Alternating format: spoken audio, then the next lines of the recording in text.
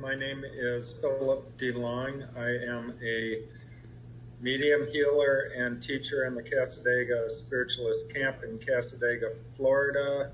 I have been studying metaphysics for all my life, and my roots back to spiritualism and mediumship go back probably to when I was five or six years old. Near death experience when I was 12 years old, and that put me into the realms of what I would call a Christ consciousness. I feel that knowledge has to be shared for people so they can not only experience it, but they can actually work on it after they leave the class.